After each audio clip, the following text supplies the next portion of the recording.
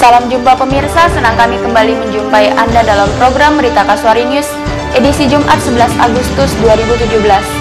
Berbagai liputan telah kami siapkan untuk Anda di antaranya, sejak berdiri 33 tahun lalu, Balai Pengobatan Santa Monica Brawijaya minim perhatian pemerintah dan Dinas Sosial Manokwari tidak mengetahui penyerahan ex kantor Dinas Sosial Papua Barat kepada Kanwil Hukum dan HAM Papua Barat. Berbagai informasi tersebut akan dirangkai dengan informasi utama kami hari ini. Kegiatan Dinas Lingkungan Hidup dan Pertanahan Papua Barat dibatalkan oleh warga adat suku Sebiar Bintuni. Bersama saya Nadia Stefani Patipawai, inilah Kasuari News selengkapnya.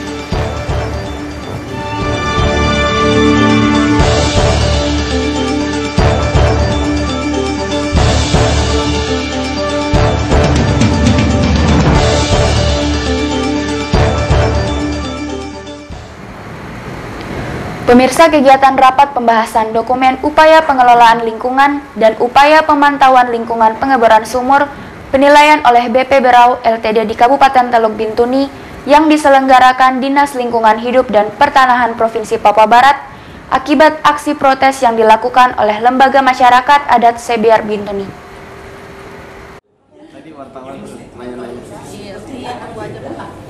Aksi protes dilakukan sekelompok warga yang tergabung dalam lembaga masyarakat adat LMA Sebiar di salah satu hotel di kota Manokwari karena tidak ingin kegiatan rapat pembahasan dokumen, upaya pengelolaan lingkungan dan upaya pemantauan lingkungan pengoboran sumur penilaian WD9 oleh BP Berau di Kabupaten Teluk Bintuni yang diselenggarakan oleh Dinas Lingkungan Hidup dan Pertanahan Provinsi Papua Barat bekerjasama BP Tangguh Bintuni dilaksanakan.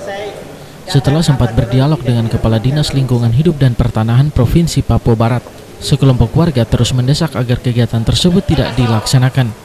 Karena menurut mereka, dalam pertemuan bersama Gubernur Domingo Sumandacan beberapa waktu lalu, Gubernur telah menginstruksikan agar tidak ada kelanjutan proyek pembangunan Train 3 LNG Tangguh di Bintuni sebelum melakukan gelar tikar adat.